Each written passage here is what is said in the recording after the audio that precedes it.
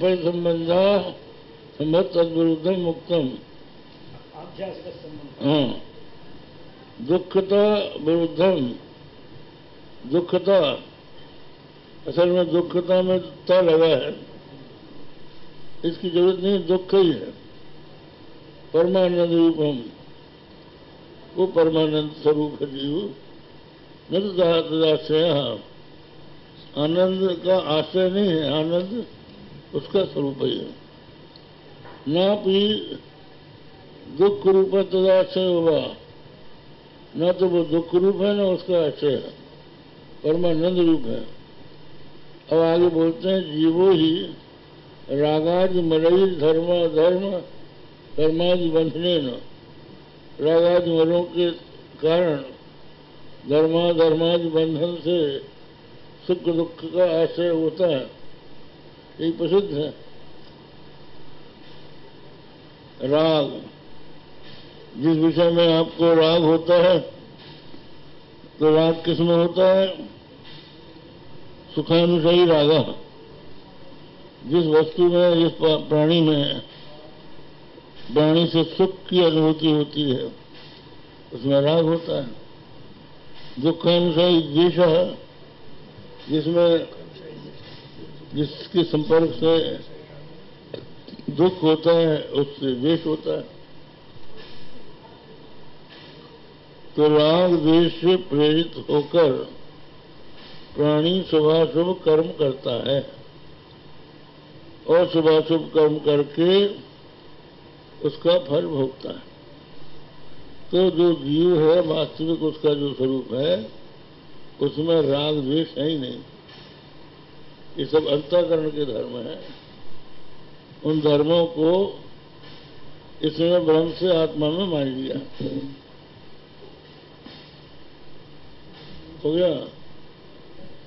तो ये हो गया अति निकटम इति ईश्वराद व्यावृत्ति ही।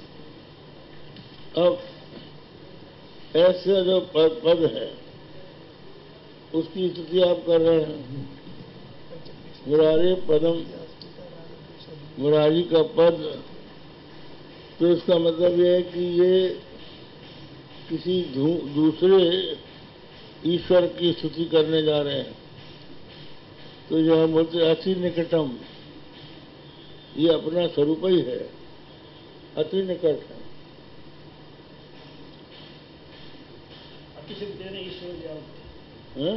अतिशब्देन ईश्वर व्यावृत्ति ईश्वराव्यावृत्ति बाजीविधि पराग रूप पर- परोक्ष एवं ईश्वर कल्पिता जो बाजी हैं, वो अपने से भिन्न परोक्ष ही ईश्वर को मानते हैं।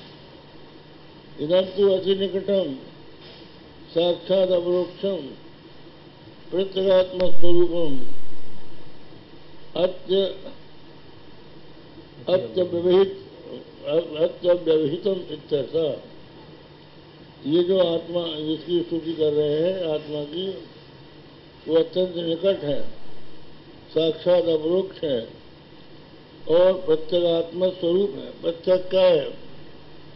देहादिभ्य, देहेन्द्रियादिभ्य, प्रतीपतया अच्छते अवगम्यते, इति प्रत्यक देहादि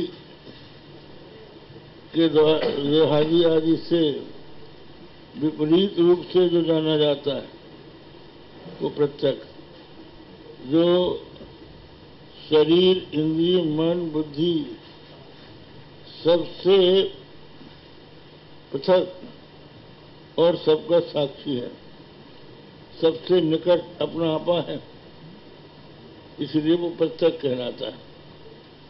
तो वो भगवान प्रत्यक रूप है, अर्थात अति निकट। सबसे ज़्यादा निकट अपने से कौन होगा? अपने होगा। तो प्रत्यक रूप है।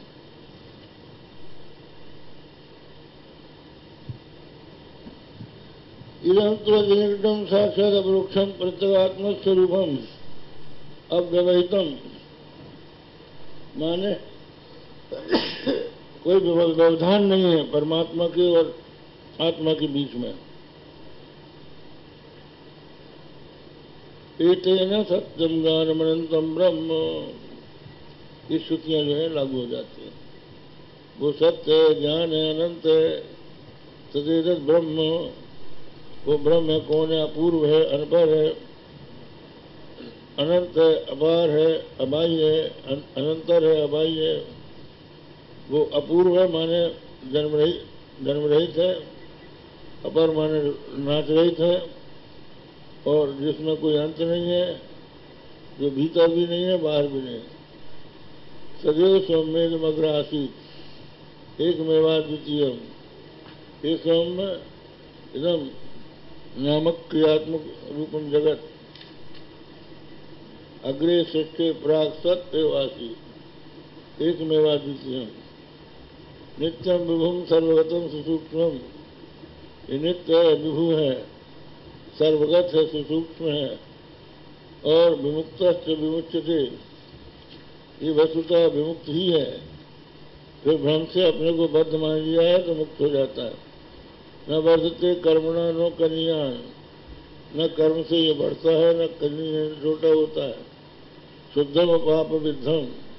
ये शुद्ध है, पाप से रहित है। इसे परमा आनंद यही परम आनंद है। यद साक्षात अवरुक्षात ब्रह्म। ये साक्षात अवरुक्ष होने का ब्रह्म है। यह आत्मा सर्वांतर ये आत्मा सर्वांतर है। अयम आत्मा ब्रह्म। ये आत्मा ही ब्रह्म है। न जायते मृत्य व विवक्षित। न ये जन्म लेता है, न मरता है। निष्कर है, निष्क्रिय है शांत है निर्वध है, निरंजन है। ये श्रुति जो है, असत्वादि तत्त भ्रमोपोहना खंड प्रत्यक भिन्नम, ब्रह्म मुख्य जिज्ञासम प्रतिपादनती ये जो श्रुतियाँ हैं असत तत्वादि जो तत्त ब्रह्म है, उनके अपमान करके, अखंड, प्रत्यक्ष अभिन्न ब्रह्म का जो मुमुक्षु का जिज्ञास है, उसका प्रतिपादन करते हैं।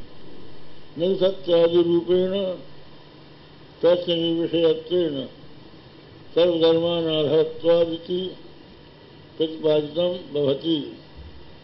ये बताया कि उसमें सत्यत्वादि धर्म नहीं है।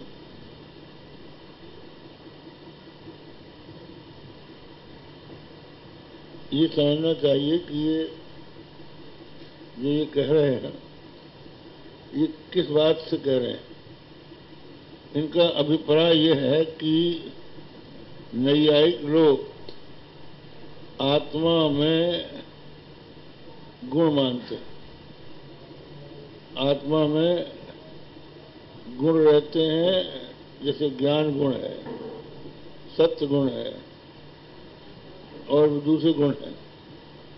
तो आत्मा जो है, वो उनका आश्रय है। समवाय संबंध से उसमें वो रहते हैं। तो ज्ञान, आत्मा ज्ञान स्वरूप नहीं है, उनके यहाँ जड़ है आत्मा। ज्ञान उसका गुण है। इसी तरह से और भी जितने भी गुण हैं, वो समवाय संबंध से नित्य संबंध को समवाय संबंध कहते हैं। तो वो आत्मा में रहते हैं। जहाँ जबकि वेदांति ये मानता है कि गुण गुणी का भेद आत्मा में नहीं है। आत्मा ज्ञान रहित है, उसमें ज्ञान का गुण है, ऐसा नहीं, वो ज्ञान स्वरूप ही है। तो इसलिए जो ज्ञान शब्द का वाच्य, ज्ञान धर्मक है, वो न हो के ज्ञान शब्द का लक्ष्य ज्ञप्त मात्र, इसका समझना, अर्थ समझना चाहिए। हो गया संसत्यादि रूपेण तस् निर्विशेषत्व वो निर्विशेष है। समस्त धर्मों का कोई आधार नहीं है। सर्व विशेषण